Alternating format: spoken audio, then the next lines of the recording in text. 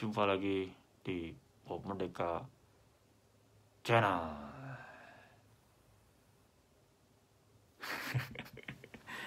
Oke. Ya. Ya, ini Pop Merdeka ya. Tadi tadi adalah Darth Vader. ya, gimmick aja gimmick biar kaget. Kaget nggak? Nggak ya. Oke. Di segmen kali ini namanya BOB tetap ya sebagai eh, sebagai narsis ya BOB bagian obrolin buku. Ah, nah buku yang bakal saya bahas hari ini di vlog kali ini adalah ini Star Wars Trilogy. Ah, makanya kenapa tadi pakai jaket si Darth Vader ya dengan apa topeng Darth Vader. Bagus ya jaketnya ya. Ah, Iya, sengaja beli ya buat vlog ini. Enggak ya, memang udah punya dari dulu.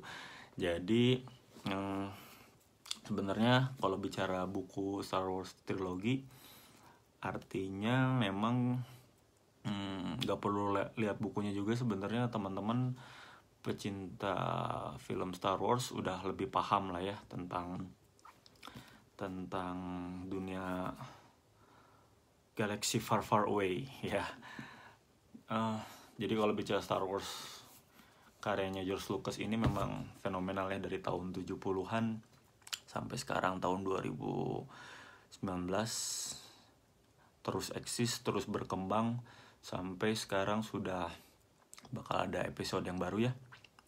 Sudah sudah saga ya, sudah lebih dari trilogi. Nah, tapi bicara yang buku ini, buku Star Wars trilogi ini memang yang memba- membahas yang episode 456. Jadi Star Wars yang yang vintage kan ada beberapa aliran tuh. Kalau Star Wars tuh ada yang suka yang vintage yang 456, ada yang 123 yang di mana kalau yang 123 ini sudah lebih sudah lebih kekinian ya. Uh, bahkan katanya George Lucas tuh bikin sengaja 456 itu nggak langsung nggak nggak diawali dengan 123 karena uh, episode yang 123 ini pada zamannya tahun 70-an 80-an itu belum mumpuni teknologinya untuk bikin 123 Gila ya, visinya sampai sejauh itu. Terus sebenarnya saya bukan Star Wars die hard fans ya. Tapi istri saya yang die hard die hard sama Star Wars. Eh, kalau saya tetap Radiohead. Ya tetap Radiohead. Cuman karena pernikahan saya memaksakan Radiohead sama istri saya. Istri saya memaksakan Star sama saya ya. Dia nih koleksinya macam-macam ya. Hmm, nih ada apa ya? Ini tuh ada kayak hmm, kayak begini. Ada yang aneh-anehnya juga. Nah jadi ini bisa bisa apa proyektor ya untuk melihat filmnya ini harus dimatiin sih lampunya biar kelihatan ya. Tapi intinya sampai beli yang beginian juga gitu ya. Kalau Funko juga Funko Star Wars ada Darth Vader. Ini banyak banget serinya dia. Ada Darth Vader kemudian ada Darth Maul. Banyak lah di rumah di kantor di Bumi Maichi itu ada semua ada diecast ada yang segede gini ada yang macam-macam lah memang koleksi ya. Tuh ada lagi yang begini. Sampai headset Lego ah macam-macam lah sampai saya juga kalau nulis kalau ada ide ada apa sampai dibik- dibakelin ya. Yang kayak begini.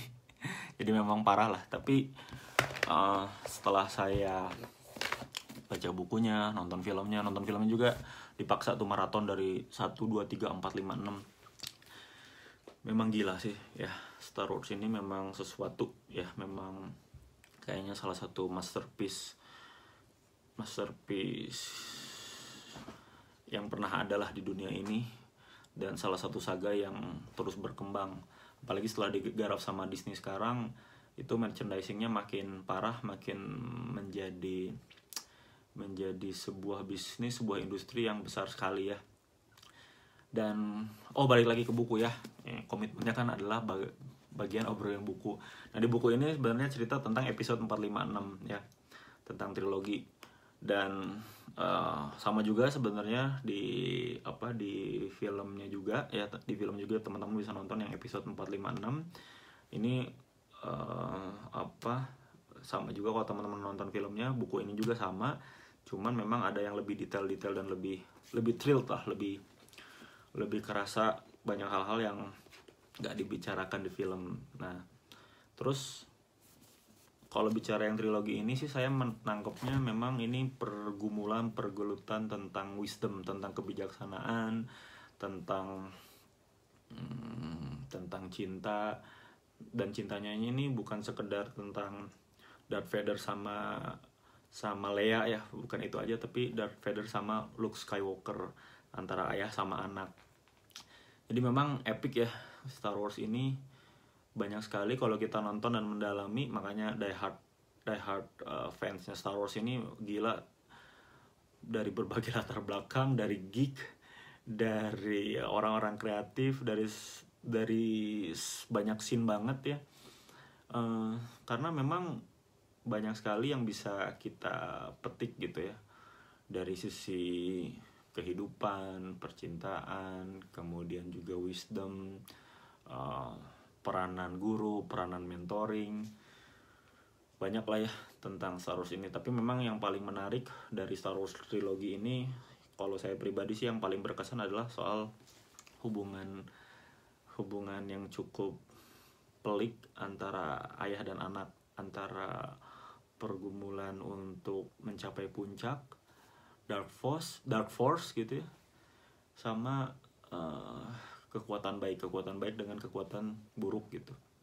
Akhirnya kita harus memilih pilihan yang mana gitu pilihan yang kita mau ke arah yang gelap atau ke arah yang cerah gitu. Ya hmm, kalau saya pribadi ya masih menunggu juga ya Star Wars yang episode berikutnya. Ya sebenarnya Star Wars ini merefleksikan tentang bahwa kehidupan ya memang kita ini harus harus memilih ya. Dan pertarungan antara baik dengan buruk pertarungan antara evil dengan dengan angel gitu ya itu adalah pertarungan abadi. Dan kembali ke kitanya kita mau milih yang mana. Dan sebenarnya dari setiap orang kalau saya tangkap pada akhirnya gitu ya di Star Wars kalau dalam-dalam banget gitu. Star Wars ini pada akhirnya setiap orang itu pasti punya sisi baik dan sisi buruk gitu ya.